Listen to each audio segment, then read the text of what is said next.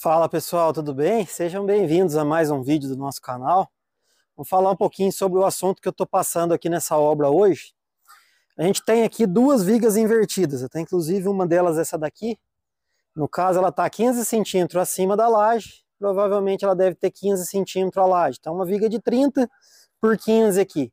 E a primeira pergunta que eu faço para vocês aqui nesse vídeo, será que eu posso apoiar o meu madeiramento em cima dessa viga? Será que a minha cobertura pode descarregar peso nessa viga? Fato muito comum que a gente observa na carpintaria, é quando a gente tem essa estrutura de concreto, é o carpinteiro chegar e apoiar o seu telhado aqui, ó, muito provavelmente com pontalete.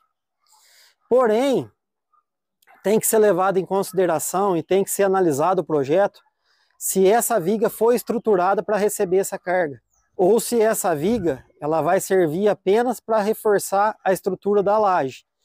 Então, antes de você apoiar qualquer peso em uma viga de concreto, converse com o engenheiro, converse com o construtor e veja de qual forma foi montada aquela viga, se ela vai poder receber a carga do seu telhado. Até inclusive na viga da frente ali, eu vou dar um exemplo bem claro para vocês a respeito disso. Nós temos aqui, pessoal, um vão de 5,80 metros e e é um salão aberto embaixo. Então o construtor aqui, o engenheiro, ele fez essa viga invertida para poder estruturar a laje, para poder reforçar a laje. E eu não posso de forma alguma apoiar meu telhado nessa viga. Por qual razão? Porque ela não foi estruturada para receber a carga do telhado. Ela não foi dimensionada para receber essa carga. Por essa razão, o que, que a gente fez aqui? Eu trabalhei com uma tesoura para poder distribuir o meu telhado. Então a minha tesoura joga a carga para as extremidades.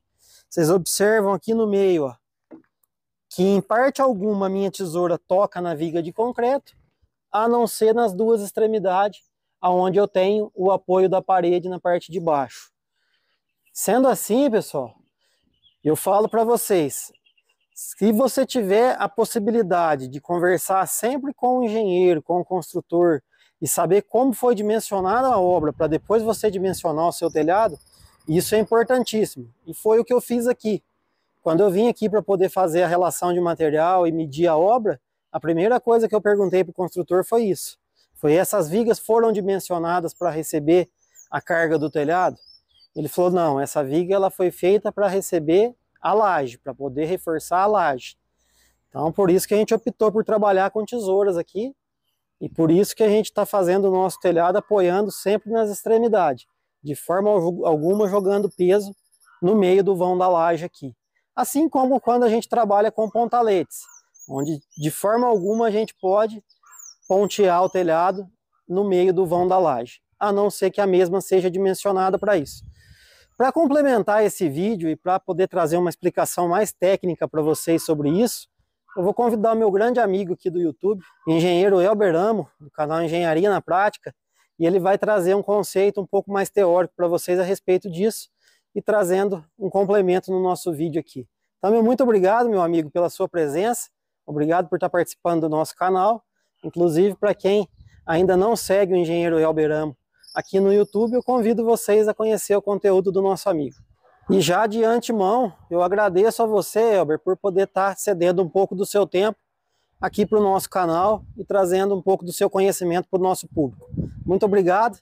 Fiquem agora com a explanação do nosso amigo engenheiro Elber Damo. Fala pessoal do canal Juninho Carpinteiro.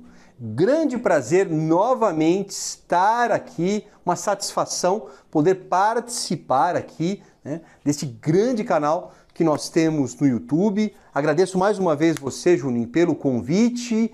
E sim, é né, importante nós abordarmos aqui essa questão, né, de você muitas vezes colocar cargas em uma laje, em uma viga. Existe um perigo muito grande que eu vou explicar aqui ó, no quadro em detalhes para você entender. Primeiro ponto a ser frisado aqui: você nunca deve jogar nenhum tipo de carga extra sobre uma laje, por exemplo, uma laje treliçada.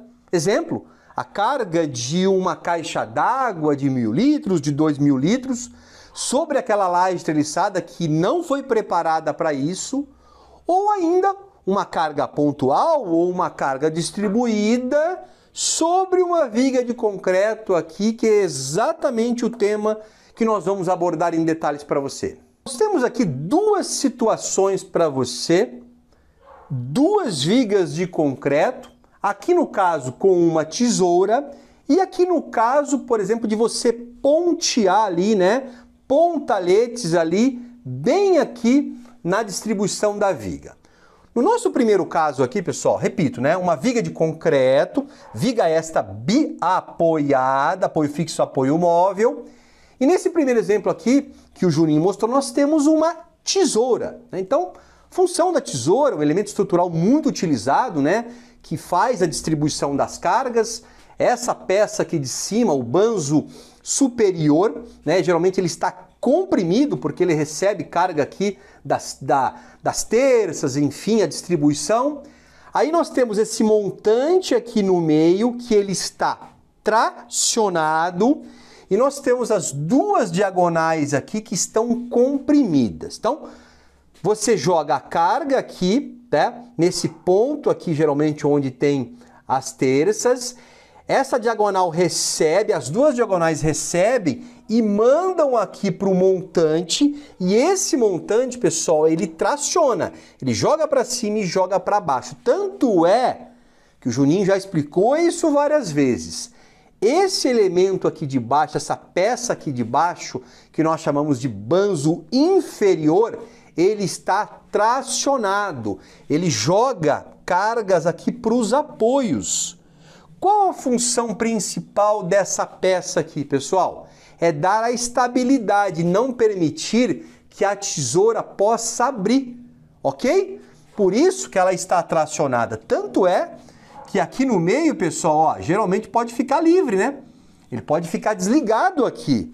Né? Juninho também já mostrou essa parte aí, né? E um erro também que ele já abordou com vocês é pegar, né, essa diagonal aqui, encostar aqui, né, nesse ponto aqui e jogar uma carga que essa peça aqui não foi dimensionada para isso, mas o Juninho, claro, já explicou em detalhes para você. Então, pessoal, o que, que acontece aqui? Nós temos uma nossa viga de concreto. Você jamais pode pegar qualquer parte dessa tesoura aqui e querer jogar algum tipo de apoio nessa viga aqui, ok? Ah, geralmente uma peça, eu vou apoiar um, um pedaço aqui, alguma coisa anormal, você não pode fazer, ou no meio aqui, de repente, né, pessoal? Né? Ah, vou apoiar aqui a tesoura de forma alguma. A tesoura não trabalha nesse jeito aqui, apoiando a parte de baixo, e sim apenas apoiada nos extremos, e a viga não foi dimensionada para isso. Eu tenho a mesma viga de concreto, mesma configuração, pessoal, tá? Apenas para exemplificar. E aí, ao invés de você ter uma tesoura, você vai montar o telhado ali com os pontaletes. Né? Você vai pontear ou, ou vai pontaletar o, né, o seu telhado ao invés de usar a tesoura como elemento estrutural. Inclusive, né, o Juninho já sabe disso, já falou com, com vocês aqui, o telhado pontaletado é muito eficiente também, tem uma ótima eficiência estrutural. E aí, né, na hora de, de montar esse sistema, você começa a colocar cargas, né? você começa a colocar cargas aqui do telhado, ó. Você começa carga pontual aqui, carga pontual aqui, carga pontual. Você começa a colocar cargas aí sobre essa viga de concreto. E aí mora o grande perigo, pessoal. Primeiro, essa viga aqui, ela fora dimensionada para isso. Você tem uma viga, por exemplo, no caso do exemplo, uma viga de 30 por 14, né? num vão aqui de quase 6 metros. Então, essa viga foi dimensionado para receber essa carga extra aqui do telhado? Primeira pergunta que eu te faço. Para responder, quem tem que avalizar isso é o engenheiro responsável. Né? Antes de você fazer esse procedimento aqui, você tem que consultar o engenheiro para ver se você pode ou se essa viga foi dimensionada para isso, tá? Ah, vamos supor que não fora dimensionado, né? Essa viga aqui ela não fora calculado, você não tem a informação do engenheiro, você não tem um projeto estrutural. Ah, eu acho que passa, eu acho que dá, eu vou colocar carga. Qual o risco que pode acontecer, pessoal? Essa viga aqui ela pode sofrer uma flexão aqui no meio, né? Ela pode sofrer um momento aqui no meio, flexionar justamente por essas cargas que não foram dimensionadas, né? essa viga não fora feita ferragem, altura, inércia para receber essa carga do telhado. E aí você pode sim ter um problema de flecha, né? A laje pode sofrer aquela flexão e aí, né, o que é pior, você precisa entrar com reforço estrutural, né? Aí vai ter que entrar com, com viga W ali para estruturar, fazer um reforço estrutural. Então, de forma alguma, pessoal, isso serve mesmo uma laje estressada e mesmo vigas. Não apoie né, cargas extras sobre uma viga. No nosso caso aqui, telhados, né, telhados pontaletados. Para você utilizar esse sistema de usar pontaletes ao invés de tesouras, você precisa consultar o engenheiro para que realmente onde pode, onde vai ocorrer esses apoios. Geralmente os apoios eles são distribuídos em cima de paredes, em cima de vigas, né? Você tem a distribuição das vigas, os pontos aqui que você pode realmente apoiar aqui, né? né? Geralmente parede e tem uma viga de respaldo na parte de cima. Nunca pode apoiar diretamente sobre a laje e nunca pode apontar diretamente sobre a viga, ainda mais se essa viga não for dimensionada para isso. Tá bom, pessoal? Bastante atenção com esses detalhes, cuidado com essas manobras aí, né, com esses extras que acontecem na obra, que você pode colocar a sua estrutura em risco. Tá bom, pessoal? Mais uma vez, Juninho, obrigado aí pelo espaço, um prazer grande sempre estar com vocês aqui. E não esqueça, hein? Vocês vão lá no canal Engenharia na Prática, se inscreva, porque você sabe que no canal Engenharia na Prática no canal Juninho Carpinteiro, você aprende. Pessoal, grande abraço a todos.